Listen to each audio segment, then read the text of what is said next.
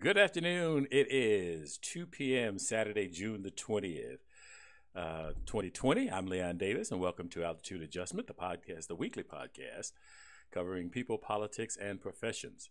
And uh, back with me again this week, a couple of really great fellows, uh, Warren and Leonard, my brother Leonard. Um, and we're going to be talking about um, interest. We're going to be talking about borrowing money and how that impacts life and to try to make some rational sense out of um, why you should or should not borrow.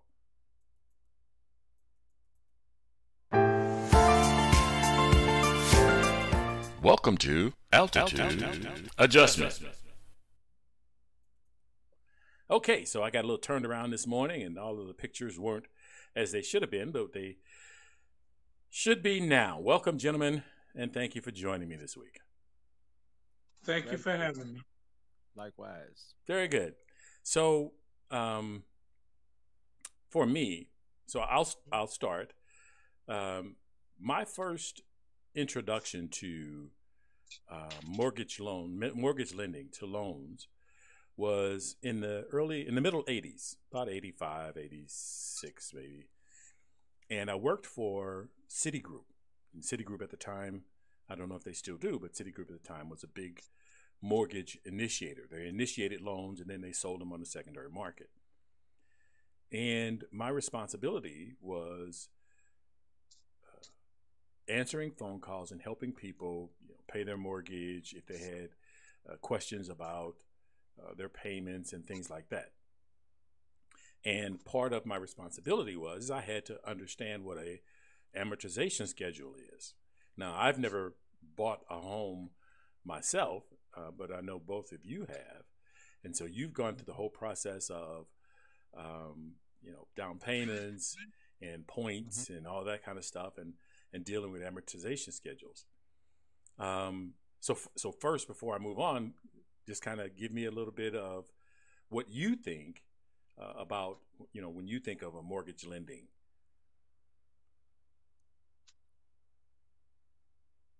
Okay well, then i'll, I'll start.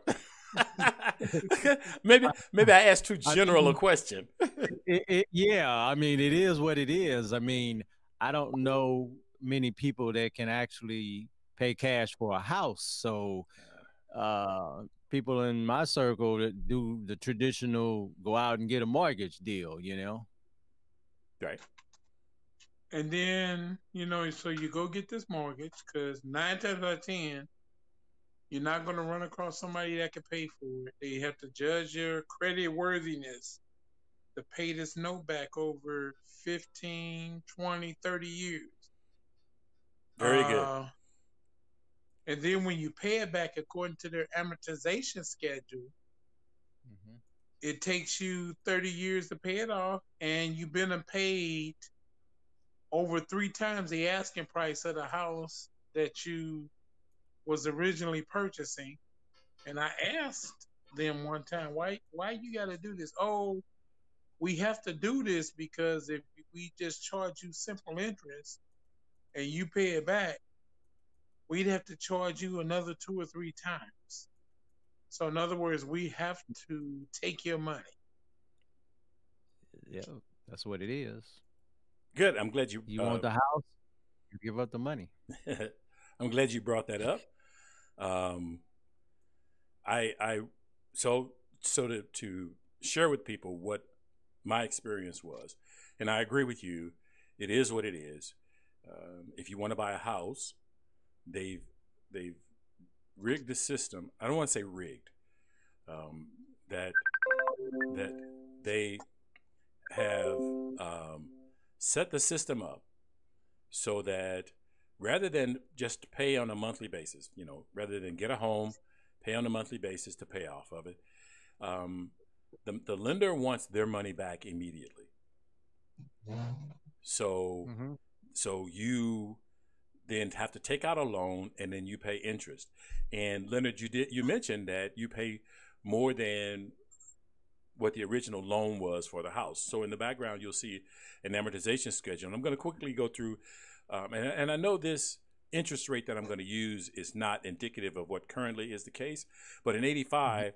this was, um, uh, you know, normal for uh, a loan, and mm-hmm. um, so uh, ten percent. I think it loans ranged around ten to twelve percent. So this is a we're to uh, this amortization schedule will work for you know auto loans, um, student loans. I think what else was in there? Uh, car, personal loans, install payday loans. So anyway, you can you can go to the uh, the website uh, amortization-calc.com and get an idea of what your monthly payments are going to be and um, um, how much you're going to pay over the life of the loan and how much you you know it's going to cost you to borrow that money. So the, the amortization schedule that I first saw, saw was a $200,000 loan. Okay. It was a 10%. It was a 30 year fixed at 10%. And if we click on the calculator there. Okay. What year was that? This was about 85, 86. Mm, okay. okay. Okay. 85, 86. Mm-hmm. We bought our house, first house around 85, actually. Okay.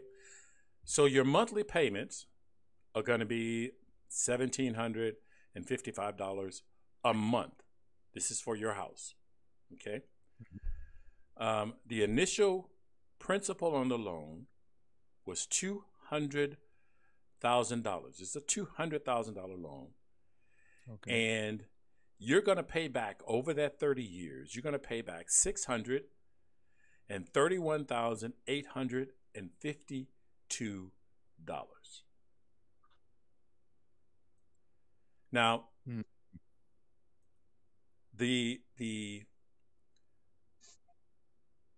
and and the way that they they set set loan structure up is that the first you're going to pay your first few mortgage payments or your first i don't know 10 20 years the majority of your $1,755 a month payment goes to interest. Correct. It doesn't go to the principal because if you if it if it, most of it went to principal, then they wouldn't get as much interest over mm-hmm. the life of the loan. And what a lot of people were doing was they were getting they were getting a loan and then sending additional money towards principal mm-hmm. so that mm-hmm. they wouldn't wind up having to pay as much in interest. Right. And so what did loan companies do? You remember what they well, did? Did they charge uh, you penalties, prepayment early. penalties for paying that off early? For paying that off early, or they restricted and said you could not pay the loan off early. Mm-hmm. Okay, and and so when we look at um, when we look at society and we look at you know the cost of living, and you think about it, um, you're buying a piece of property. You go out, you work hard to make your money, and the the borrower gets twice as much for your property as you do. So you've got a $200,000 house. You've paid $600,000 for that house, not $200,000. Hmm. Right. You've paid $600,000 for your house. And if the market just stays the same, you could sell your house for about $200,000, maybe $220,000. Right, right. But the average person buying is expecting some reasonable gain. Now, it's not guaranteed, but uh, depending, especially over a 30 year period, you should have a really decent ga- uh, gain unless the neighborhood went south. which, and that can which has happen. happened. Yeah, which is yeah, happening. It happens. You know, so I and and and I understand that um, home ownership is a desired thing. I have every intention, or had every intention, to buy to buy a house, to buy a home. Hmm. It's just my situation never uh, structured out that way, um, and I wanted to build. I didn't want to, to which is why I, I waited so long. Um, mm-hmm. Is that I wanted to build. I didn't want to buy a home that someone else had created. I mean, if I was going to spend that kind of money, right, I wanted something that that was specifically designed for me, um, and and I was trying to save towards it so that I would not have to have that large, you know, uh, borrow a large amount of money. But I did understand that borrowing was a part of home ownership, um, unless you got unless you've got wealthy uh, family members that are, you know, going to spot you uh, a couple of hundred thousand dollars to get your home. I wish. and and uh, so so so there is this big outlay, and and it. The reason I was so adamant about you know getting us uh, so much money was because once I looked at that amortization schedule and I looked back and I was thinking, I'm going to pay back over three times the value mm-hmm. of what I originally borrowed for my for my ability to live in this home.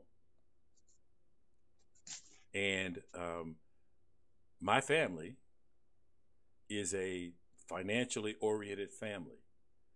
My both of my parents were in accounting. My sister is in accounting. My mm-hmm. brother um, was uh, went to school for uh, um, economics. Economics.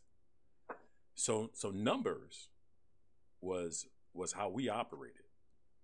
We okay. we saw everything in dollars and cents. You know, I I know I've got to live someplace. I, I'd love you know, to have a house. But I saw it as dollars and cents. And then when I, I'm looking at it, I'm going, you know, I'm, I'm paying back $600,000. You, you know, there's no way for me to get that back. There, there's no way that my house is going to appreciate enough. It is going to appreciate, hopefully. But there's there's no way it's going to appreciate right. four hundred thousand dollars. Yeah, that's a that's a really inflated figure there when you look at uh, price for what you um, you know actual actual equity. You know mm-hmm. what you pay in the long run, and you know it's it's crazy. Okay, I agree. Now you mentioned to me earlier when we was talking about this that um, there are no ten percent interest loans anymore. Well, uh, I was talking about the current finance rates for homes. Uh, now, I'm not saying that that doesn't exist. I'm saying uh, the baseline or the average rates are, are very low. Now, if a person has some uh, extreme credit issues, there's no telling what they might have to pay. I, I can't read. I don't know those numbers. And I want to put a pin in that um, and come back to um, that the, the, interest rates are charged based on credit worthiness. I want to come back to that. I want to address that also. Right. Um, so give me a, a, percentage rate of in a in a in our current market that's reasonable. Four percent. Four percent. I've seen I've seen uh, interest rates go as low as three point two, three, mm-hmm. uh, four, five. You're paying ten percent these days if you're considered uncredit worthy, so it could be ten point five seven five percent, that kind of thing. Mm, okay, so if we go with four, that that would be a safe assumption for yeah, that's, pretty much what he said was right on the money. A year ago, when we got this house a little over a year ago, it was four. We just refied for 3.5. So Leonard was pretty much right on the money. Oh, excellent. Okay. Now, that's with credit. We have good credit. So person with not so great credit, I don't know how much higher they would pay, but you know, we got decent credit, so we're blessed to be able to get that rate. You know. Sure, I get you. So I put I plugged in a two hundred thousand dollar loan. Um, and and that seems to be kind of close to the median house. Hmm. Yeah, they're Depends all running, where... you know, close to that. Mm-hmm. Um, thirty year fixed. Um, I I looked at an arm loan. I, I wouldn't get close to an arm loan. Um, I wouldn't get within three states of an arm arm loan. Right. I yeah, would. You can get. That. Huh? You can get God on them. Oh man, can you get burned on an arm? But I mean, they're out there, you know, for people who who are willing to roll the dice. Um, mm-hmm. So, so I plugged in four percent. So we've got a, a two hundred thousand dollar loan, uh, a thirty year fixed at four percent. Two hundred thousand dollars. You're still going to pay back three hundred and forty three thousand dollars. That's a hundred and that's a hundred and fifty thousand, almost one hundred and fifty thousand dollars more than what you borrow. Yeah. now, I, I, I'm not saying this. I, I, I don't. I'm not picking on this because I want anybody to feel that they made bad decisions. Right. Right. As as as as my uh, co-hosts have pointed out, this is what it is. This is this is how the system has been set up. Yeah. And and if you want to have some level of comfort in your life, this is where we are. I'm hoping mm-hmm. that by starting the conversation that that we can get enough people to say, "Hey, let's look at this. Why does this make yeah. sense?" Huh? Well, it's like the casinos. They set it up where the house always wins. So you're caught in it. If you want this money, uh-huh. this is what you got to do. This is the industry. That's a good one. The house. And the house always wins. Yeah. Uh, no pun intended.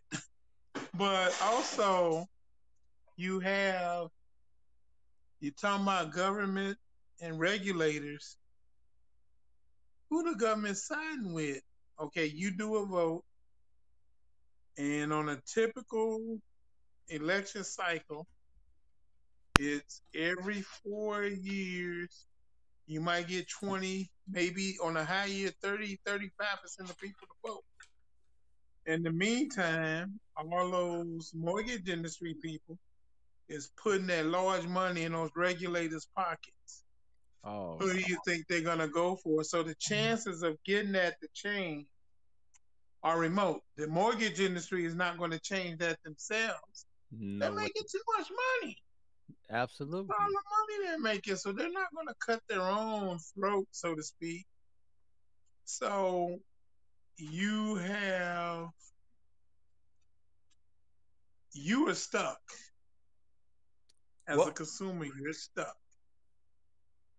Right. Unless you get rich and can buy it out of pocket, you're stuck. And so, and so, I I understand. Um,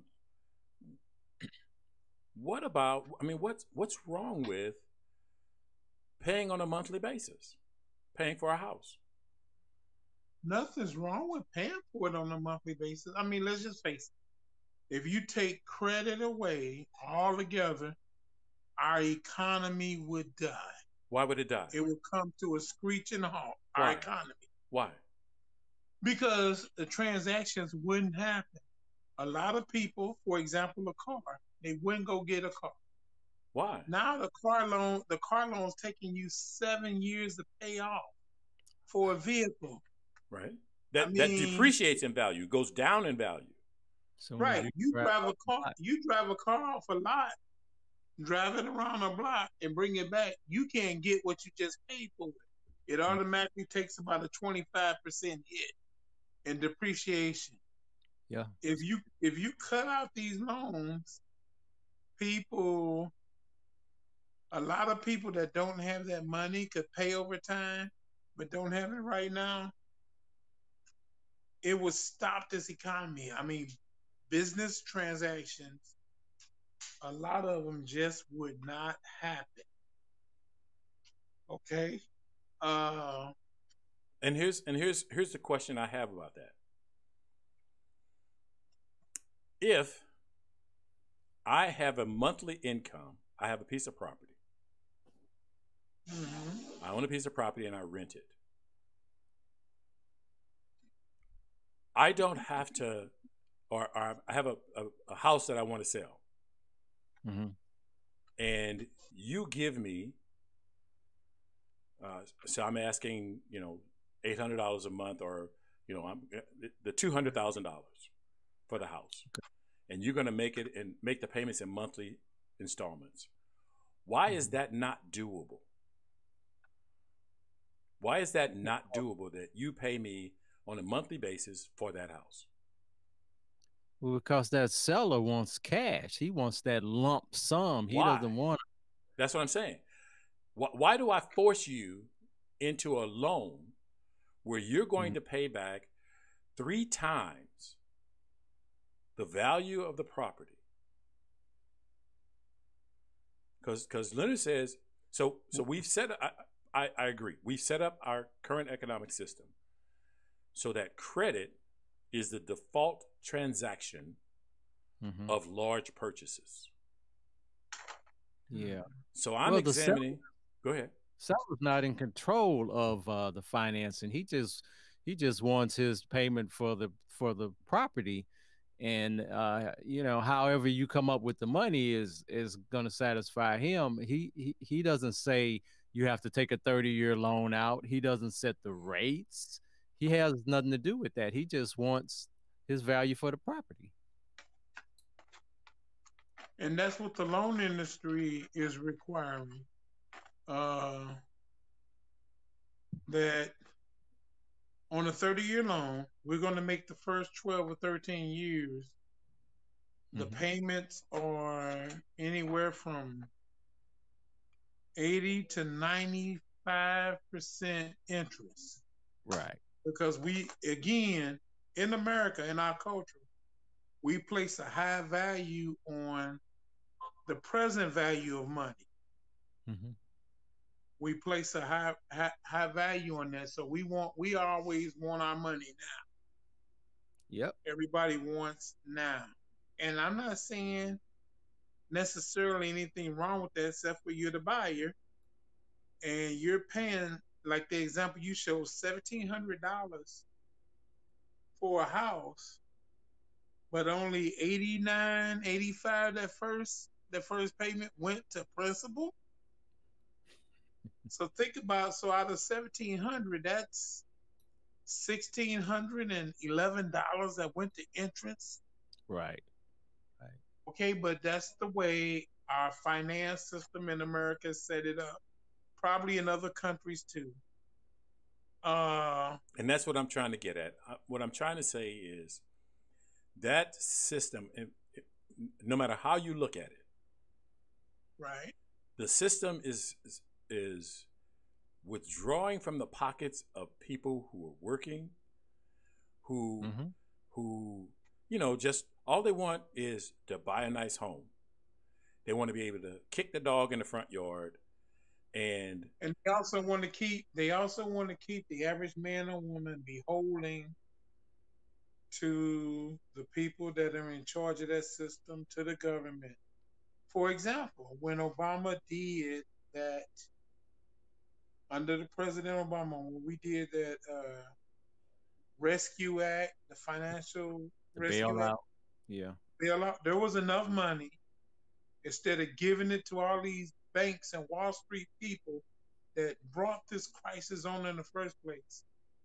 The average American federal taxpayer could have gotten anywhere from three to four million dollars. Now you give them the money, Most of us are going to spend it. We're going to get out of debt. We're going to pay off the auto loans. We're going to pay off the car loans. We're going to pay off our houses. Some of these people had two or three houses with four million dollars. They had two or three uh, six-figure houses. That was enough to pay that off. So instead of working it so everybody could pay off their stuff and have a little lease, they did a system that they knew would keep the average man or woman beholden to the government, beholden to the finance industry, mm-hmm. beholden to the to the business folk. Cause see that that way, all the businesses that claim they were losing money would have gotten paid. Right. They, they everybody would they would they would have gotten bill collectors out of their pockets.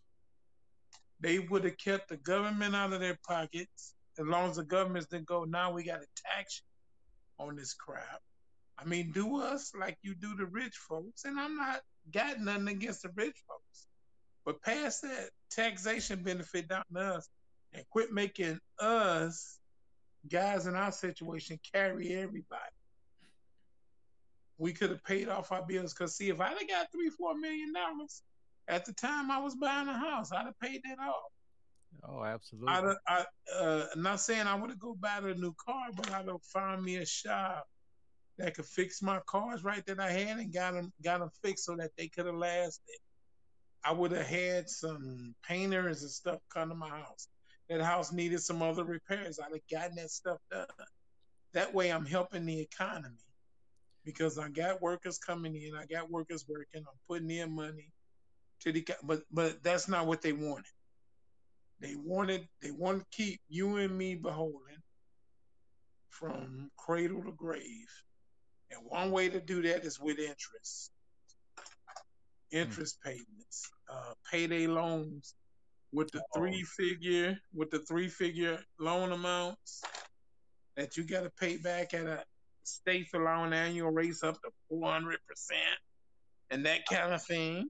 How is that uh, ridiculous? Credit cards. And what did Reagan do the first thing he got office? He cut out the credit card interest. He cut out all the consumer interest. The deductions. The consumer yeah. interest deductions. Right. Mm-hmm. And and and if you look at it, a consumer household or a consumer is like a business we have income, mm-hmm. we have outflows, expenses. Now, what this knucklehead came in and did. So, for any Reagan fans, yeah, I call him a knucklehead. He came in and took all the consumer deductions away. Uh, and by the way, all of this taking axe to everything and just just cut without studying Reagan came back in the second year said he wish he hadn't have done that. He wish he would not have done that, but we still got knuckleheads in Congress still believing in that. So why why so, couldn't I why couldn't I write my stuff off my taxes? Well, okay. Um, so we can go down that road. Um, and and and to me that gets into the flat tax the mm-hmm. whole idea was the whole idea of consumer interest deductions. Right. Uh, I can say the whole idea. Part of it is uh, they allowed businesses in order to um, be able to juice business in the in the country. They mm-hmm. allowed businesses to write off losses, which was um, what social or welfare for the corporations. So they are allowed just to, in general to write off their expenses. To write off expenses, to amateur, to amateur, mm-hmm. to um, depreciate um, assets. Uh, mm-hmm. You know, in order to uh, put more money into the pockets of business, and business uh, even flourishes more. And supposedly, so so I understand all of that, and and so the you know you know interest deductions and all that kind of stuff gets into um, gets into tax policy and what what are we trying to accomplish with our tax policy And so I, I, I think that that's another whole podcast in and of itself. It gets us into yes, a, it is. Gets us into another area, and and so I want to yes, try not to run off into that area, but okay. But so so the concern that I have is is that um, we have we have put in place a system that uh, extracts more from the middle class because middle class homeownership was a linchpin of the middle class. Homeownership is a linchpin of, of middle class. Now, owning a home, because what else can you have? What is what other large expenditure do you have to be considered middle class? It's a home. That's it. Well, yeah, it's a house. It's a it's a house, and so you by by by having loans that are structured in such a way that huge amounts of income, huge amounts of personal wealth are extracted from those people in the course of home ownership. Because mm-hmm. even if you go to sell your house, even if you go to sell your house, uh, you're not going to get for you're not going to get 600,000 for that. Nope. So if you sell your house for um, let's say 265,000, you bought it for 200,000, you sell it for 260 265. Is that reasonable? Or, or do you think it, you, you're going to sell it higher? Well, it depends on how long you've had it. How how far down the Okay, so what would you th- what would you think was reasonable? J- just so I could get to my next point. Well, okay, so we're looking at typically a 30 year mortgage. So are we selling it a couple years? You're selling later? it at the end of the 30. At the end of the 30, okay. So That's you own the house now. You, are not paying a mortgage anymore. All you're paying is taxes on the house. Yeah. What's what's a I reasonable mean, what's a reasonable dollar amount to sell your house for? You know, 30 years is uh, so much can happen in 30 years that that's really a hard number to call. Because okay, so I am just going to go with I'm going to go with your house appreciates for six seventy thousand dollars. So you bought okay. it for two hundred thousand dollars. At the end of 30 years, you're going to sell it for two hundred and seventy thousand dollars. Mm-hmm you're going to get $270,000. So you're going to get $70,000 for your house. Okay. That person is going to have to take out a 30 year fixed loan and right. another four hundred or five hundred thousand dollars is going to be extracted from that transaction. Yeah. So it's just seeing how the interest passes along. Right. There's always a finance industry waiting to lend you the money mm-hmm. with this interest price tag. Now somebody else got to pay triple the asking price for the house by the time they pay off all these interests mm-hmm. on the thing. I mean, then you go to buy a car because most of the well, you need transportation. Right. It's just a matter how you get it. Do you just ride a bicycle, ride a motorcycle? Uh, get your, you know, get a vehicle. So a car or an SUV is just, uh, you know, how you do it. Then you got to pay interest on that loan. Mm-hmm. That mm-hmm. loan you got to interest because, like I say, a car is a big purchase now. It takes you seven years. You know, I just see it that they they're taking seven years of financing to pay for cars. Mm-hmm. Oh, so uh, now, so now you've got two kids. They're going to college. Yes. So you've got a home loan. Yes. At at five at four percent. You've got student yes. loans at three percent. Uh, and, yeah. and you're gonna they're gonna borrow sixty seventy thousand dollars. Depending. Well, student loans are like eight percent now. Okay, so they're they're eight percent, and that's that's another seventy thousand dollars, and then yeah, you you, you got to buy a vehicle. Yes. That's six years at six, four or five percent. Yes. And you want improvements to your home. mm-hmm. and you're mm-hmm. probably gonna have to finance that. Right. So, so how much wealth are they extracting out of the middle class mm-hmm. with interest? Well, first of all, I would say all of it, but then the other question would be what who is middle class? Because you know depending on where you live the economy is different uh different jobs pay different scales. So for, well i'm just talking about somebody that for middle class for the most part we talking about somebody who has the work to earn their money to live.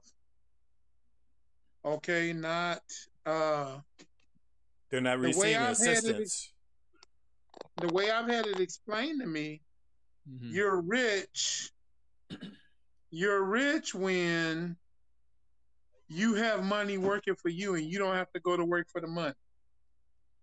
Right. You're right. rich. You're, you're in the rich class when you if you don't get that pay, if you don't get a steady paycheck, can you still live?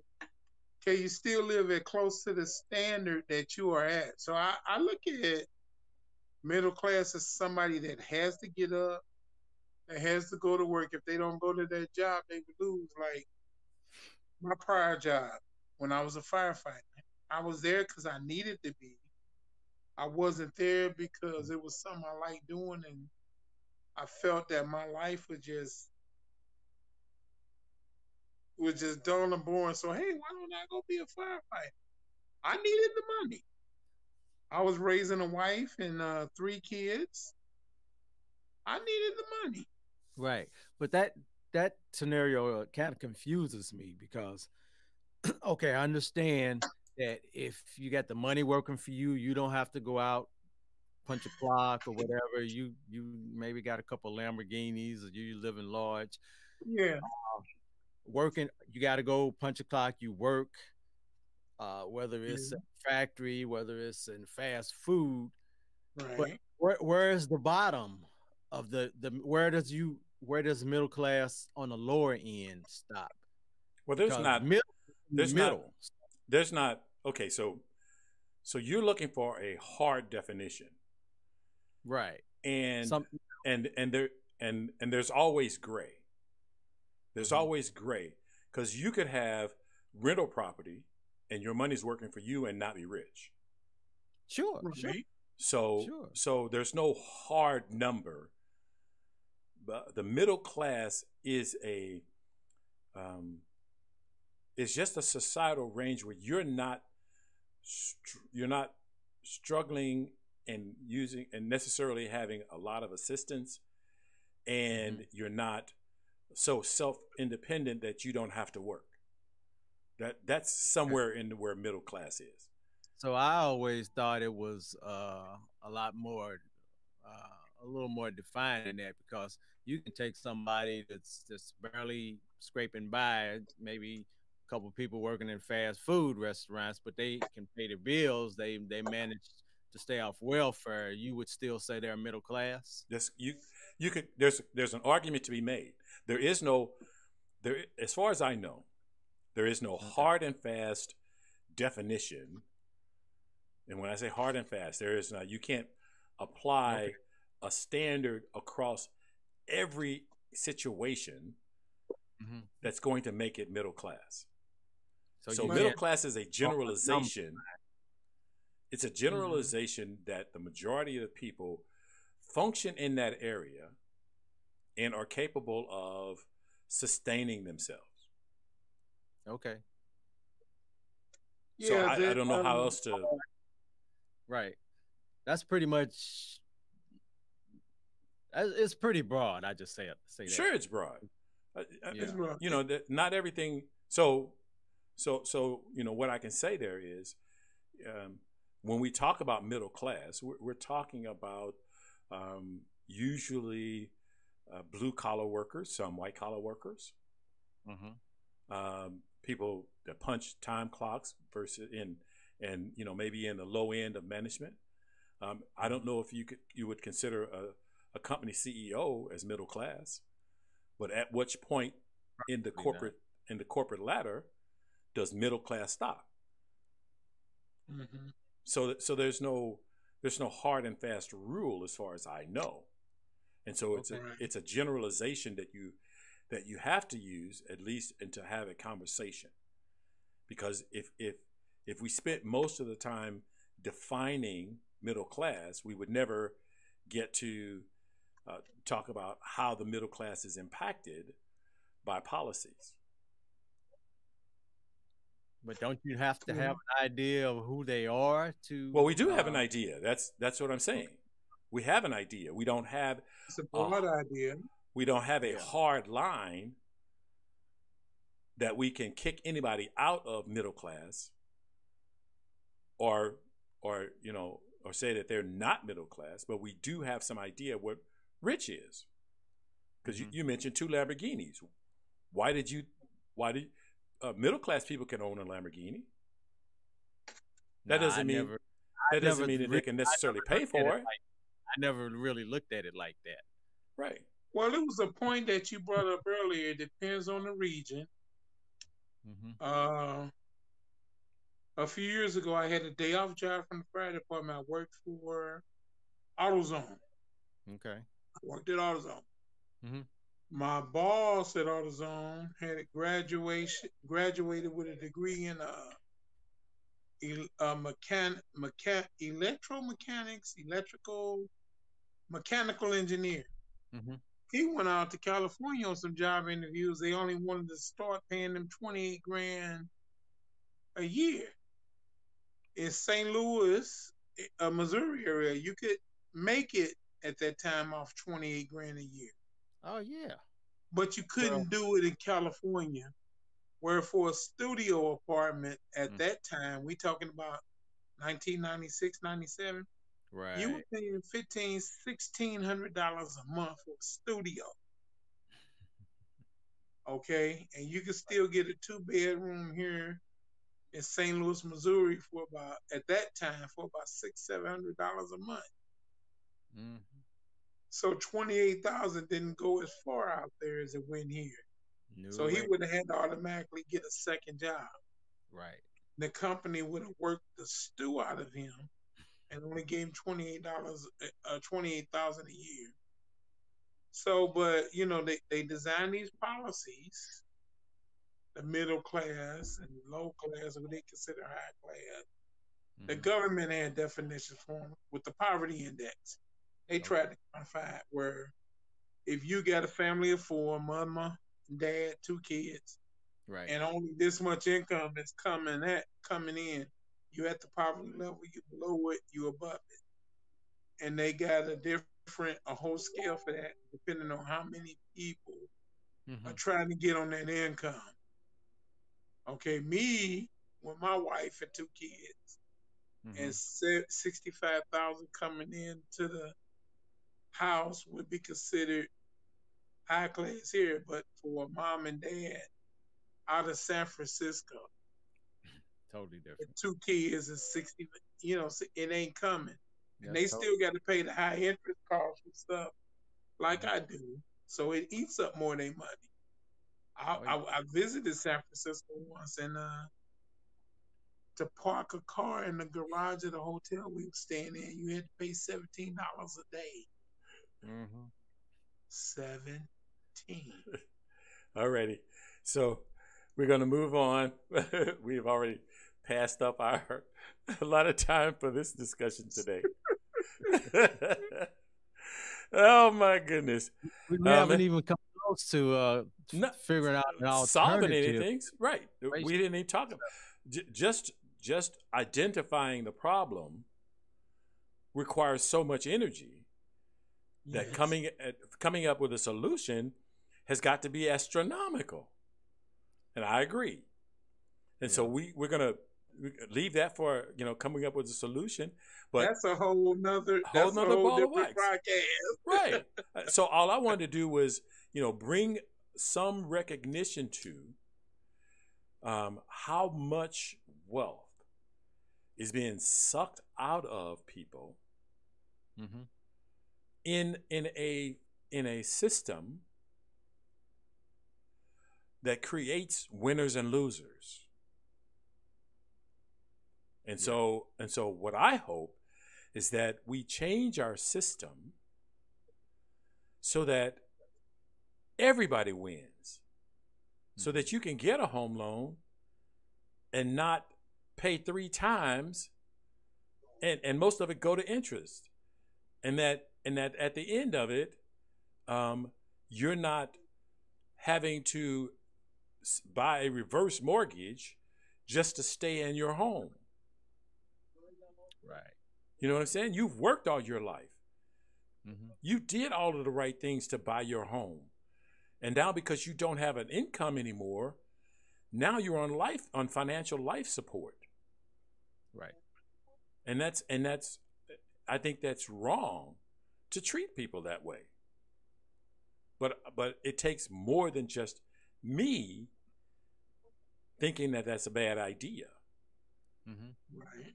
And so and so hopefully by examining what the system is really like, we can start to try to um, hash out some alternatives Mm-hmm. so that so that the system becomes fairer. So now I'm gonna I'm gonna really put us in a this so this the Leonard's laughing already and Warren's smiling. so so I I I got a video and um, it lit a fire under me. So I'm going to show you the video, and then, and then I'm guaranteeing you we probably won't be able to get out of this conversation in ten minutes. Okay. On July 4th, we're boycotting all business. This financial freeze is a demonstration everyone can participate in. Please don't spend any money in America online or in store. No right, stock hold purchase or trade. Pay your bills, get your grocery and your gas early. If you have to work those days, please pack your lunch. This month on June 19th, we will be commemorating Black Independence Day by supporting black owned On July 4th, we're boycotting all business. This financial freeze is a demonstration everyone can participate in. Please don't spend any money in America online or in store. No stock purchase or trade. Pay your bills, get your grocery and your gas early. If you have to work those days, please pack your lunch. This month on June 19th, we will be commemorating Black Independence Day by supporting black owned businesses. Quick history June 19th, known as Juneteenth, is a celebration of the end of slavery. There are still four states in America that refuse to acknowledge it as a national holiday. Please stand in solidarity with the black community and don't spend any money this 4th of July through the 7th of July. But do invest in black economics on June 19th. Please help us honor our ancestors in a nation they built. Okay, uh, either one of you guys want to go first? You want me to go first? Yeah. Go you, ahead. Lead it on. All right. Yep. this was this was one of the most irresponsible acts um, I have seen in a while. When the economy was healthy, there was the idea of flexing black economic muscle Mm-hmm. by having a day where we don't buy anything so that the economy, so that people see in real terms the power Mhm. of black economics. Okay. The problem that we have is the economy is not healthy, it is sick. Let me let me uh, bring up some some uh, um, newspaper articles about what I'm talking about. Um, there was this article, um, which was from Black Enterprise.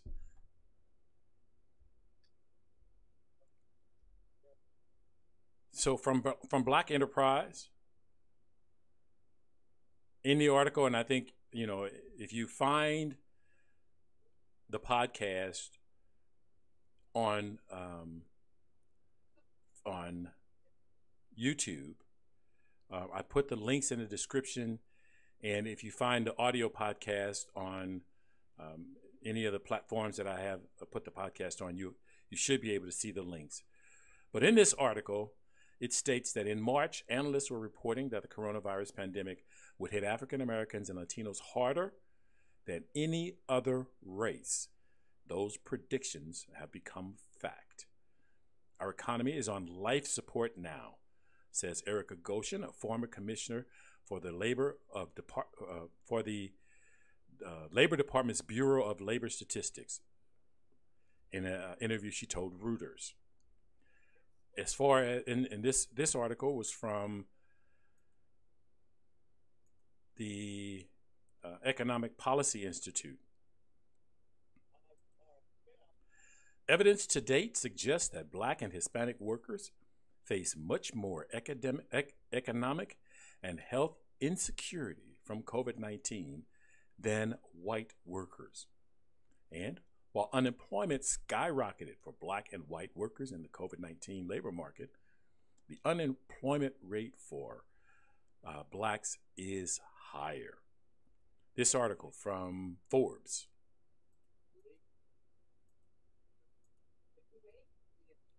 Congress, the title of the uh, title of the article, Congress needs to act before half of the U.S.'s black and Latinx owned small businesses close. Mm-hmm. NBC News, and this this will be the last one. I won't bore you with a ton of them, but they're they're they're out there all over the place, and and that's part of why I had such an issue with this video.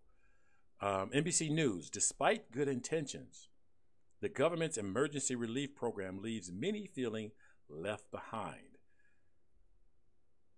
a lot of black businesses didn't get the financial in, uh, support from the COVID 19 um, relief bill.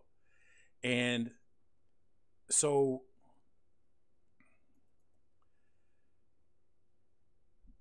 this person, this young lady, while she may mean well, flexing our economic muscle at this time I think it's going to hurt black people and minorities more than it's going to be impacted by um, the the intent of having a boycott.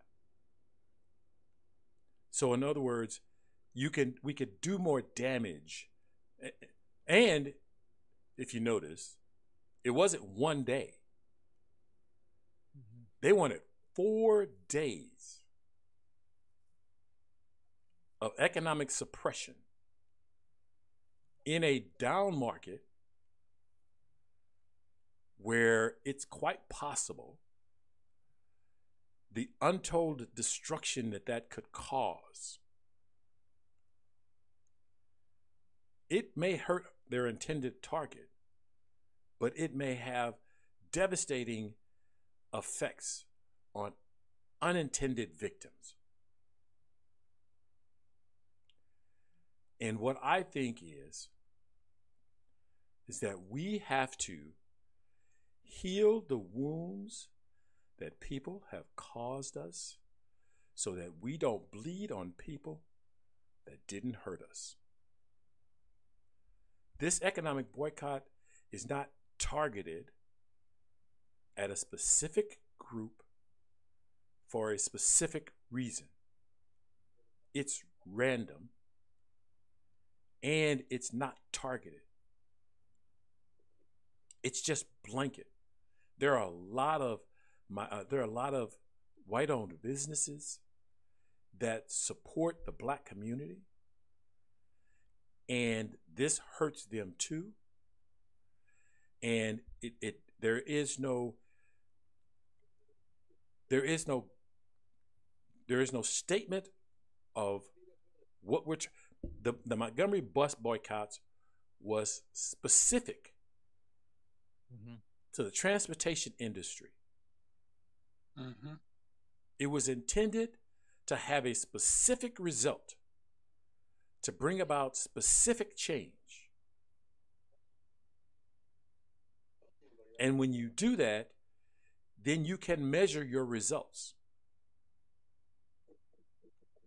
A boycott like she's talking about is arbitrary. You can't measure the results and you have no you have made no demands for people to even appease you. Okay, I see your point there. I can definitely see that point. Well, I mean, I, it was interesting that you brought up the Montgomery boys boycott. Uh, would our people be disciplined enough to keep it up for four years, like the Mon- Montgomery bus boycott was, kept up for four years? It almost bankrupt the Montgomery bus system, so they gave in. They found out that at least half their ridership was black and you mistreated them and, and you paid for it. Uh, like she said, for three or four days, I think you concentrate on letting people know the black businesses in your community that are still going and urge support for them because a lot of these black businesses that close are done. Over half of them are going to be done forever and they had to get through this COVID 19 crap. They had to get through now these criminals that got in with the protesters, burning, looting, and robbing. And so the ones that survived, most of them will have been through a lot. So I think you have a movement with finding out who the businesses are that are still left in each of the communities across the country and urging the people of those communities to support it. I think that would have been a better message than calling for a boycott. But that's just my personal opinion. Yeah, uh, she did uh, mention supporting black businesses uh, on what was what on the holiday. Was that was that the message that she said? Because on June night on Juneteenth, she was saying on Juneteenth support black businesses right. on Juneteenth.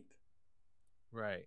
But that, so, but she wanted she wanted complete blank out of the mm-hmm. general economy from July the fourth through July the seventh. That's four days. Right. Right. And so, well, go ahead. Personally, I think that for four days, that's too long to even for most people to sustain. I really even though I think she had an, a, a message she was trying to get out, I think it probably would have been easier to say one day or two day to even get people to do it, you know, without without even knowing the effects. So four days is long. So and and and I think timing is extremely crucial with an economy that's struggling as it is, we don't know what kind of damage has been done to our economy. Mm-hmm. We're not through the COVID 19 mess now. We don't know what the long term ramifications are. And so, something of this nature at this particular time, I mm-hmm. think, is irresponsible because you have to know what what impact you're trying to have. And you have to target it to the people you're trying to hurt or that you're trying to get their attention. Mm-hmm. and just doing a general across the board means that you're hurting a lot of people who didn't do anything wrong. Okay. That's my that's my take on it and then I've got one more point, which uh, I'm ready to take heat for. um, we have an opportunity to do what the majority didn't do. We have an opportunity to put forth our idea of a community that is inclusive, that benefits everyone, that serves everyone. My saying is you cannot destroy the monster by becoming the monster. So to say only support black businesses, we would have a conniption fit if white people said only support white businesses. But if we take economic sanctions like we're talking about, like she's talking about, where you only support black businesses, don't white businesses and white people have the same responsibility to to their economic well-being? If we don't want to be treated that way, we cannot treat others that way. No matter how angry we are, no matter what problems we've experienced. Our community has been devastated by by the lack of support. But to turn around and do that to someone else is never going to be right. So, how do you think uh, we black businesses turn around and get that support? What do they need to do? We need to make sure that we're supporting businesses that support the ideas that we believe in. If we believe that everybody is is special, that everybody should be treated specially, uh, you know, equally, then we have to make sure that we're treating people equally. Yes, you support black businesses, but you also support um, other businesses, Asian businesses, Native American businesses that support your community. Well, I understand that, but I, I I'm looking for I'm trying to figure out what the examples are. Where is this happening? No, I'm saying that's what we should be doing. Instead of calling for only supporting black businesses, we should call mm-hmm. for supporting businesses that support us. Right. And I'm looking for the examples of those businesses that support us. I'm saying where is Oh, so you're saying that you don't believe that there's any non-black businesses that support the black community. I'm not saying that. I'm asking the question: Where are the examples? Um, okay, so hair uh, hair care, uh, Asian hair care companies, um, mm-hmm. Asian Asian, um, or um, Muslim, uh, not Muslim, um, Arab businesses, mm-hmm. or in the black neighborhoods. Mm-hmm. We may disagree Absolutely. on a few things, but they are here in in the black neighborhoods. You know, and and they're a lot of them are doing the best that they can, and and they may not be getting they may be getting or not getting the support that they need to be able to stay in those neighborhoods. So the businesses are there. There are well, there are non-black businesses that support sure. the black community and we should be supporting those businesses. Well, a lot of people would argue that it's not a business of support, but it's a business of extraction where these non-blacks come in they they open up shop yeah they provide uh, a store you know an opportunity for you to come in and purchase give them your money but are they really supporting the community in an at large way? Do they really put anything back into that community? I think is is the issue that most blacks have with those non-black businesses. So what about just, the black businesses that uh, they have an off they have a, a storefront in the black community, but they don't mm-hmm. live in the black community. They don't give to you know they don't support other you know what other support do you expect a business to to give to the black community to be considered um, worthy of your support okay well first of all i think we need to look at just besides taking money out of the community, which is that's what the business is there for to to provide the goods know, and services. Goods and services, but so many times you when you talk to people about these businesses that they have to deal with, there's there's literally blatant disrespect for those people in that community. I mean, you have uh, employees and they're assaulting uh, customers. Uh, and black businesses you know, don't do that. I I don't hear about it. I'm not saying oh, they don't. Okay. You know, okay. I'm not saying they don't, but I, I, I am there's a very bad image of uh, these, especially foreigners in black neighborhoods and how so, they treat. So a foreigner comes to this. Um, uh, um, a foreigner comes to this country. Mm-hmm. They're given preferential treatment because they're not black. And I think this is the situation Tell me if I'm wrong. I think this is the situation you're alluding to. They come to this country, they're given a loan, they're given an opportunity to open a business in a black mm-hmm. neighborhood, which they're probably not given an opportunity to open a business in a white neighborhood. Because now who's stopping that? The white people. Okay, so so okay, so I'm gonna I'm gonna stick to the point first, and then okay. and then we can go back and talk about the ancillary um, okay issues. So they come, they open up a business.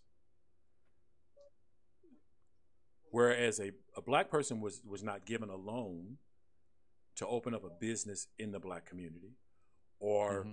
was not allowed banking privileges that would allow them to operate a business in a black community. So so this other group comes in, opens the business. They have different they have differing um, social uh, um, what's the term I'm looking for? Um, social meals for their society. So uh, how they how they treat each other in their society um, mm-hmm. is different, mm-hmm. and they bring that with them. Mm-hmm. So and, you're saying and and treat us like they treat each other. They they treat us like they treat each other. Okay. Okay. I, I don't know that to be the truth, but you know, I, I can't say because I don't hang out with them. Okay, so then, yeah. so then, what are you basing the fact on that they're treating um, their black patrons unfairly? Well, I I, I just don't uh, know that they uh, disrespect one another the way black people claim that they respect disrespect them. Now, I could be wrong, but you know, I, I just don't see it. Okay, that that's well, well, just getting around and seeing things is just you have blacks that know how to go into places and act respectable toward people. You have people that taking their liberties of disrespecting black folks. Uh, it's a matter of the two people involved, or the two people involved, people of class, or two people involved, skanky people, for lack of a better term uh, you going in a man or woman's place to steal. Yeah. You going in as a customer, paying customer, to pay your money to get your goods or service. Uh, is that's what the, that's what it is a matter of. Okay. Now I believe I'm a person that believe it was too many times that us blacks were consumers and not producers.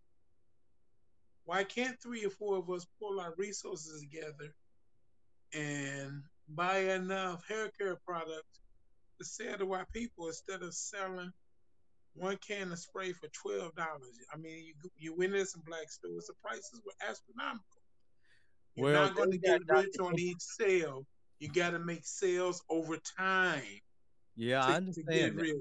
Uh, uh, that hair care industry though that's that's a whole that's a even different conversation because like i said they've made documentaries on how those asians have monopolized that market and deliberately forced blacks out of it you know price fixing and uh, on a high level you know it's it's just blacks have well, really the, the thing time. is what we're what we were less willing to do is african american food we're mm-hmm. less willing to pull get five or six of us in a place where we all go in and, and, and get this business and work it.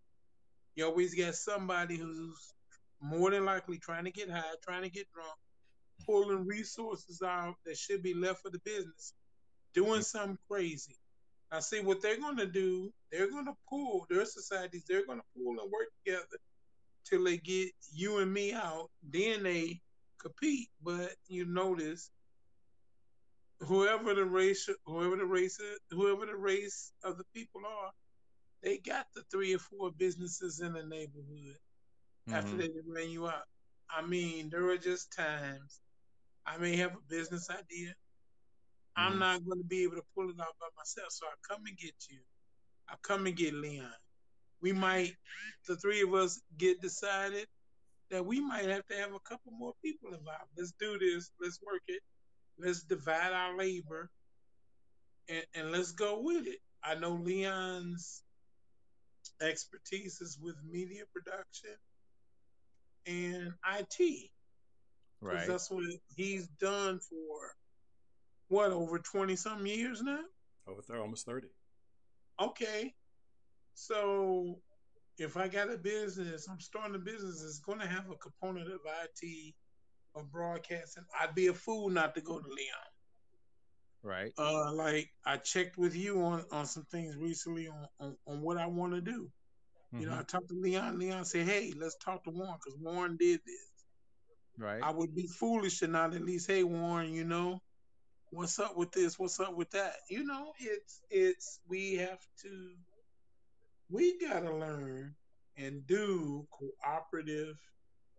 What a man told me one time was cooperative economics. Right. Other other societies have got that idea and gained it. Mm-hmm. And I'm and I'm speaking to you as an African American. We right. can we, we seem to keep hitting and bumping heads on that idea. You know, uh, a business is business. We can't we can't come in there high and drunk, right? And stumbling right. over people and talking to people in the kind of way. Yes, sir. Yes, ma'am. How can I help you, ma'am? We mm. gotta provide. We gotta learn how to provide some customer service. Well, yeah, absolutely. Business is business. Business is business. Like one time I called to order a pizza from a restaurant. I said mm-hmm. a cheeseburger pizza, and I could tell it was one of those young, young black men. Oh no, we ain't got no cheeseburger pizza.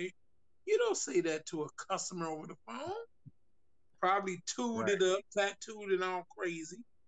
Hmm. And that's not the same thing against tattoos, but I would have handled that. Okay, sir, you want? He tell me you want a cheeseburger, so you want a, a pizza with hamburger, cheese? Do you want onions? Because that's a, a big thing people will have on a pizza. That you know, and you say it in what you have.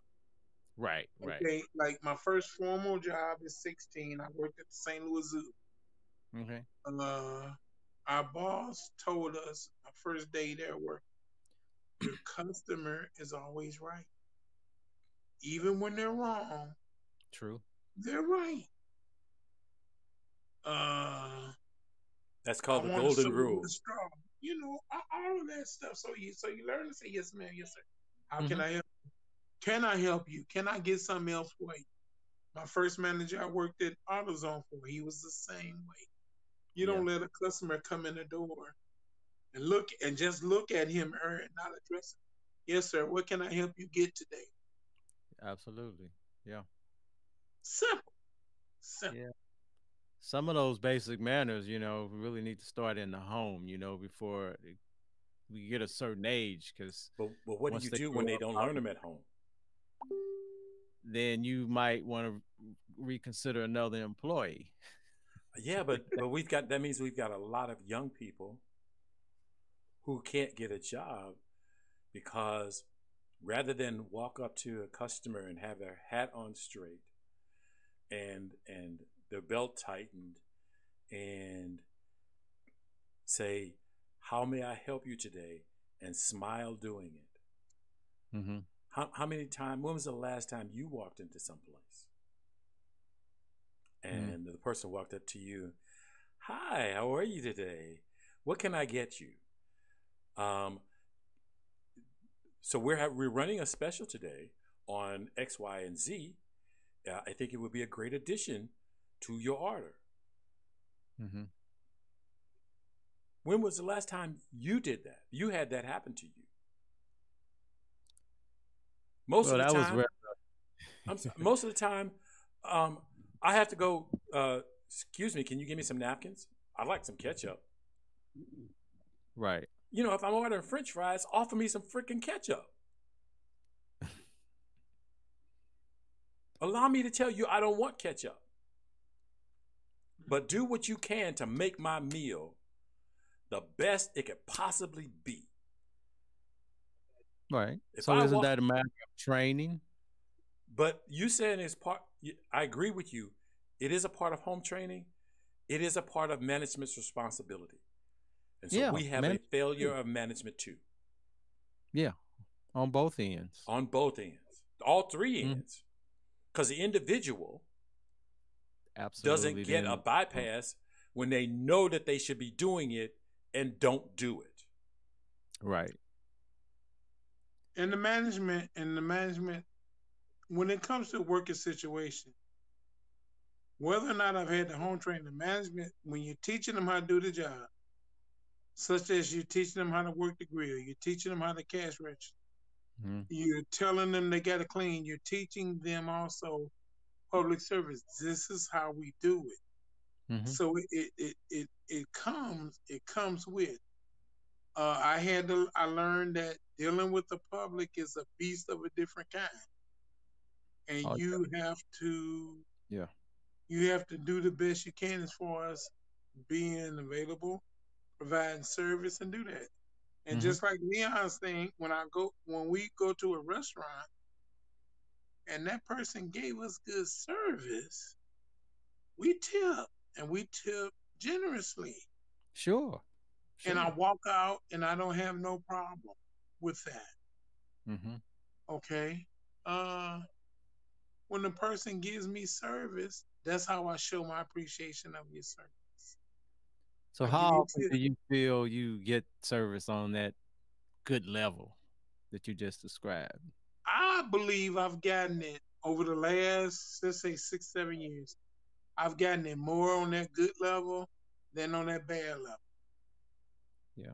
Okay, I've gotten more, but but I've had the case of like I just told you, you know, just told you about when I called the, the hamburger. This guy, you know, I said the cheeseburger pizza. Yeah, I got the restaurant chains confused, but wow. the way you handle that is okay okay, sir, you want a hamburger? You want a pizza with hamburger and cheese? Now, if he kept pressing that issue, I say, well, sorry, sir, we don't have cheese. We don't have a, a, a menu item called a cheeseburger item. Mm. But I can give you a pizza with these specific items. Instead okay. of telling you, and tell you and get no attitude with you, what we of, don't have, we right. don't. Huh? No, go ahead. Instead of instead of telling you what we don't have, I'm going to find a way to get you what you want. Exactly. As a customer service person, you're there to serve a need, solve a problem. Because mm-hmm. in AutoZone, when I was working, he didn't come in, or she did come in to me because life was just going smooth and nothing was wrong with their car. They weren't having trouble starting their car or something. So within my limits, I tried to help them find what they need. Now, I've had mm-hmm. customers come in and say, no, no, no, go get Gerald. He was a guy that been there for 13, 14 years, mm-hmm. used to work on cars. He he knew, I, yes, sir. Yes, sir. That's right. Saying, I'm, I'm going to get Gerald. Yes, sir. Let me go get Gerald. Let me go get Gerald. Of course. I go get Gerald, and I ain't got I ain't got to deal with that person particularly anymore. But I ain't got I an attitude either. Uh, I don't have an attitude either because they asked I, me to go get Gerald. I'm glad to go he get said, Gerald. Yeah, he said, "Oh, son, you you don't know what I need. Go get Gerald." Yes, sir. Yes, sir. That's what I yes, said. Sir. I said, "Yes, sir. hey, Gerald." Well, is come up here, man. Is is there anything come. else I can get you while Gerald is helping you? is there anything else I can get That's you? It. You, you, That's it. You need a you need a hammer. I can get you a hammer, and Gerald can help you on your car. Yeah. Why do I have an attitude? Right. I I'm getting a paycheck to make sure you find everything that you need so that you keep coming back here so that I keep getting a paycheck. Exactly. Exactly. That should be the way they look at it. Well, we just told them. So ain't no excuses. and you got an employee that you got an employee that refused to do it. I like your other suggestion. You have to consider a different employee. Or, hey, you know, or you have to consider first the first thing. Um, you have to because I, I, was a manager, mm-hmm. so I I say that um, not because I'm patting myself on the back, but because I understand the responsibility of management. Yes. If I've got an employee that's that's not taking care of the customer the way that they should, the problem isn't with the employee. Hmm. The problem is with the manager. Because you're supposed to hire the people, you're supposed yeah. to train the people, and you're supposed to follow up with your people to make sure they're doing their training. Yes. And if they're yeah. not, you don't blame the person. My employees, oh, he's, I, I got to fire him. Every employee that you got to fire is, is your failure, not the employees. It's the responsibility of the manager to give the employee everything that they need to be successful. And when an employee fails, it is not on the employee, it is on the manager. I'm not in hundred percent agreement with that. No, I was gonna say. Being, well, hold on a second. A hold, hold on a second, because I think your mic just went out. I think, after I think your mic just super, went out. After, after being a supervisor myself, no, if you give them the direction and you did all the things you mentioned, and they still acting, if you have that authority to fire, you fire. Like I didn't say you didn't fire. You right. do, but it was your failure. Well, I mean, that's not something I disagree with hundred percent. But okay, I understand. I mean, you know, I have... disagree. I just think it by taking the responsibility upon myself, I'm never looking for a way out. I'm always looking to push myself to be better. And that's what's most important to me. And there's certain people that will only go up to a level and and no matter what you do, you can't push them over. They're that. not going to get past, and that's not you. That's them. Like one time, I had made it up to captain on on my on a fire department. All right. And the guy was bagging the truck in, and something happened. And there was a captain on another shift that made a big deal out of it.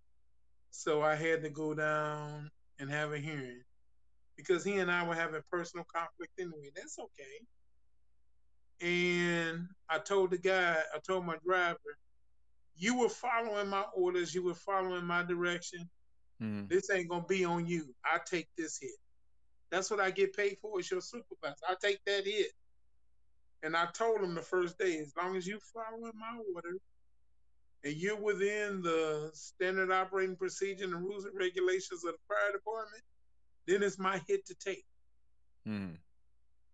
And when that happens, I went down and my chief was the deputy chief that was uh, uh, in charge of my hearing mm-hmm. was waiting for me to argue. I said, "No, chief, I did that wrong. According to this rule, that rule, and this rule, I was wrong." And he he stopped because he didn't know what to do for a minute. He said, "Okay, Davis, you lose four hours of pay. All right." It was done in less than ten minutes. That hearing that hearing was done in less than 10 minutes. So yeah, so Leon, like you say, it, it was management fault. He was doing everything I told him to do. Something happened, and there were some notifications I was supposed to make that I didn't make. Hmm. Okay. So I just told him, "You ain't got to worry about this. I take this hit. This is on me." And so I lost four hours of pay behind that, but I started covering my backside because I knew that other SOB of a captain wasn't no good. When you, know, you take responsibility, when you take responsibility, responsibility, then you'll do you become a better person. I'm a better person for it. Yeah, I'm a better person for it. Knowing I had knowing I had a snake on my back. I said, Yeah, okay, but, this is but the I minute you blame this. the minute you blame someone else, the minute you blame the employee, the minute you blame the system, the minute you mm. blame upper management, you're not bettering yourself. And that's that's Right. all I'm saying. Okay. All right. So you, All right. we, we're about to ready to wrap up since we done went off into uh, attacking folks and hamburgers and pizzas and Yeah, I'm, I'm ready for, I'm ready for that cheeseburger pizza now. I'm ready for cheeseburger pizza too. I want to thank you, gentlemen. We I've had a a, a great discussion this evening, um, and Sure. I, I, I really like doing what we do. So we'll be back next week. Supposedly this week we were going to have uh, Kim Ferguson on, and she was going to talk about dealing with stress. Um, we had to move Okay. that to next week. Okay. So um, hopefully everything will work out. We will have her on Okay. next Saturday. All right. I, I'm talking to the audience.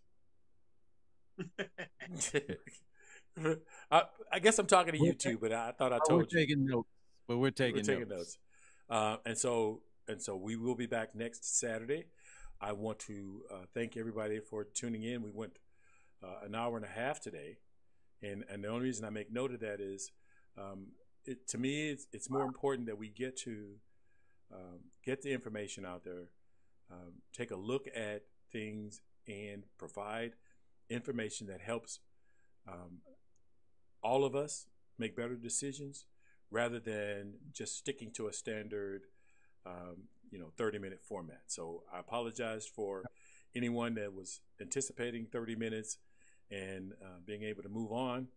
Um, but uh, in the future, and I'll make modifications to um, my business plan. Um, but we will um, have the discussion as best we can to, to at least make sure we uh, all at least get an opportunity to um, get our points out there and you know provide information that I think is going to be helpful. Yeah. Okay. Okay. Good job, guys. Good job. Good job. See y'all later. That concludes this episode, and thank you for listening.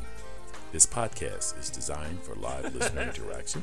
Visit the website, thelionsdenstl.wixsite.com slash home for details about how to join the conversation. The video version of Altitude Adjustment is available on YouTube. Search for Lions Den STL.